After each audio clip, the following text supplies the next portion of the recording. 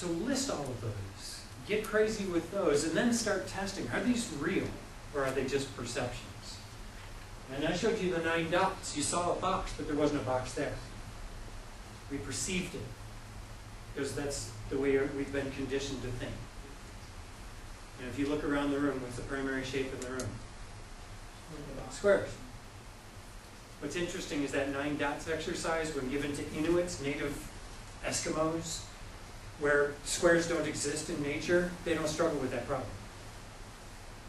Because they don't perceive, they aren't forced into a perception of squares. So, assumption listing. List all of the assumptions that people might have in the room that are keeping the ideas from flowing. Next one. Got an idea for a different kind of wheelbarrow. You don't have to draw this if you don't want, it's up to you. So, here's my wheelbarrow. Got a wheel down here on the bottom. I've got two latches. Got the latch on the bottom right. When I want to dump stuff, I open that latch. To load it, I've got the latch on the top right. I throw that open, put stuff in, close my latch. What's your initial response, your initial feedback to my wheelbarrow? What do you think?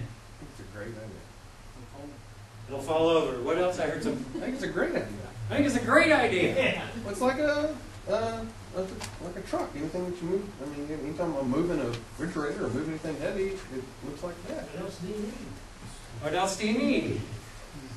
Other feedback. I'm thinking it would work as long as you have a person attached to the left side. It'll work only if there's a person there. Yeah. Or lean it against a building. What were some of the things that you didn't voice but first thought? Where are the handles? What's that? Where are the handles? That Where are the little thing on the handles? left? What else? What else did you think when you first saw it? The latches aren't It'll aren't fall over. The latches what? The latches aren't waterproof. Wa- Latches aren't waterproof. A lot of people will say, well, if you load material in there, the latches won't open. Right? It'll tip over, it's unstable. So what do you notice about, maybe not the first things we verbalized, but the first things we thought?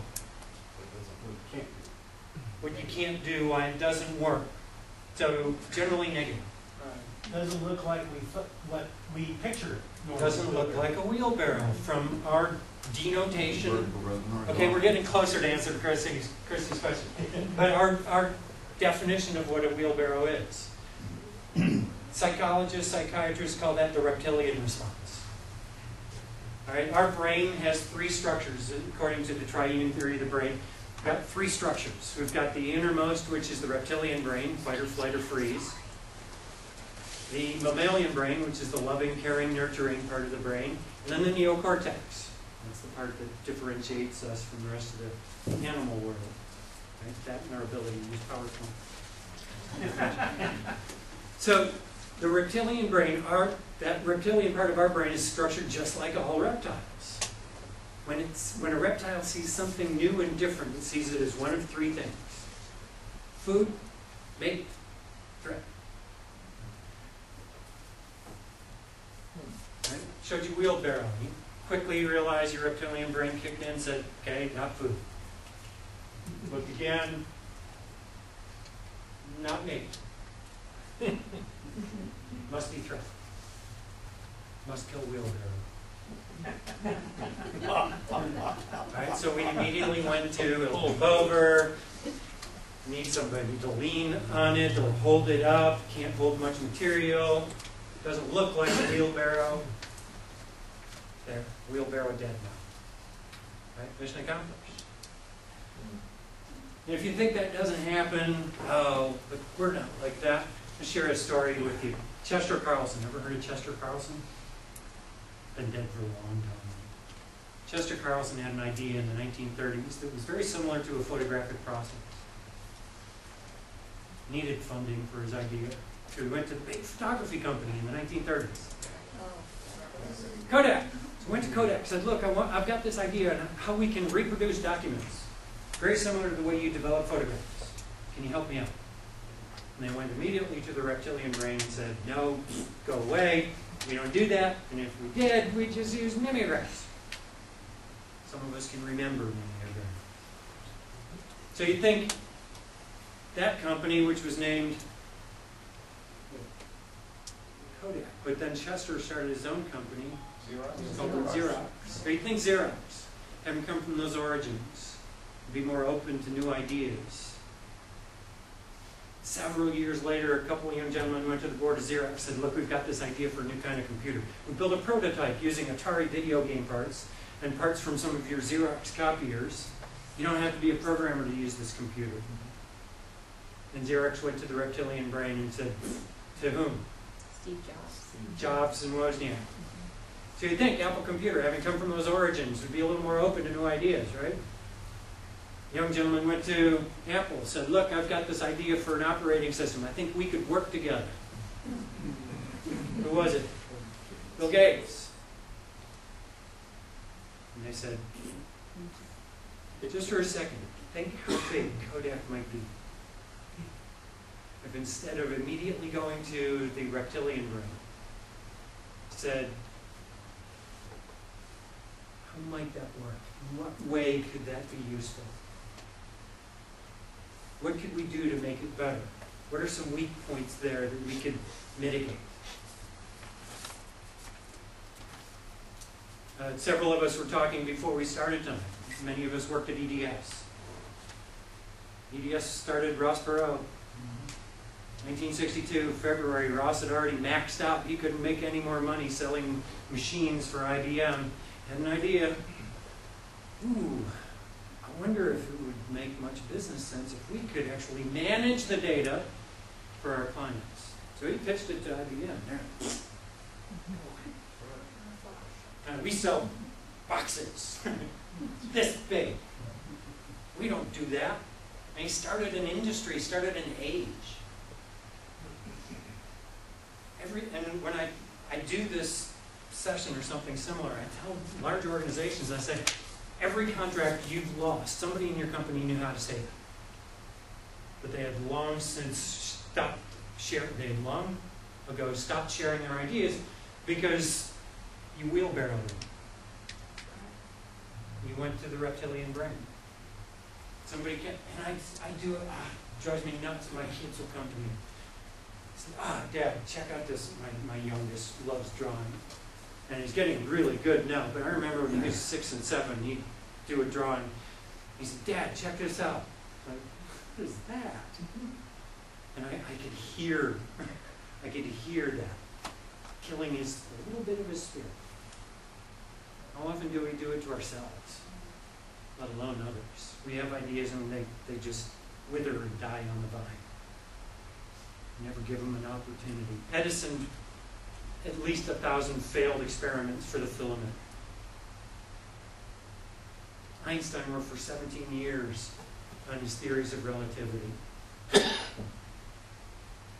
WD-40 is called WD-40 because the first 39 experiments failed. So be willing to challenge your assumptions, go beyond that one right answer, and look past, find a tool to get past that reptilian response. The easiest one I've found is the PMI. So somebody comes to you with an idea. Your immediate response may be, you know, must kill the wheelbarrow.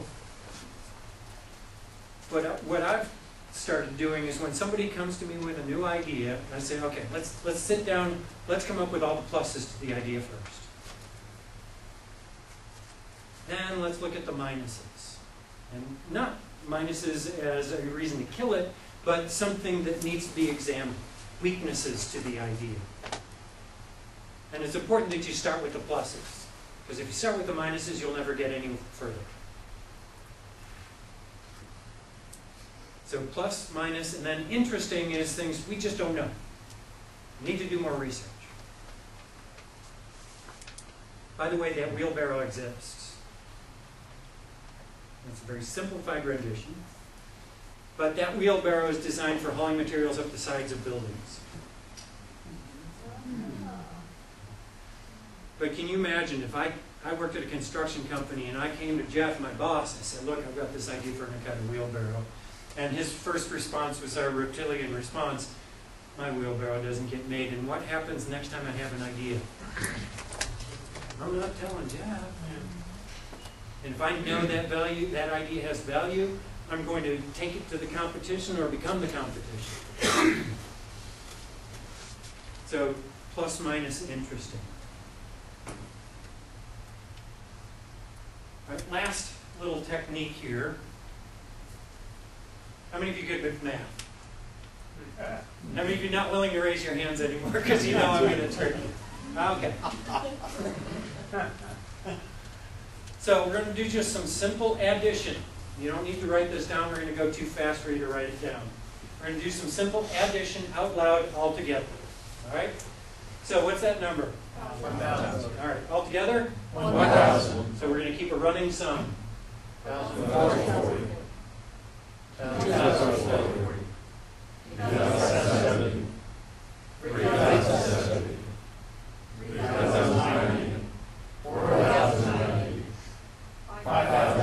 so let's check our work. What's that number? I love doing it the second time because the, the voice is really weird. Yeah. And there's like a question mark at the end. Oh, One thousand? What's the total? Forty.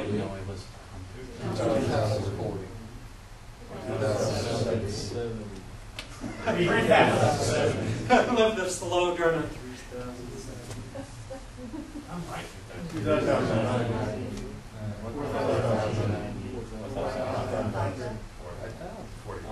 Okay, first time through, all of you said that. Yeah. Second time through, just a couple of you said it, but you just told me that four thousand ninety plus ten is five thousand. Uh, yes. One hundred. Now, I did this, since we're talking about EDS, I did this once with an EDS group. And we went through, we went through five times. And each time, there was two hundred and twenty-five people in the room. Each time came up with five thousand. The fourth time we went through, I could tell people were getting a little irate. Five thousand, move on. And then showed them this. Now, here's what was interesting. Here's the interesting point. The name of the group was Corporate Shared Financial System. These are the people who are putting together the programs to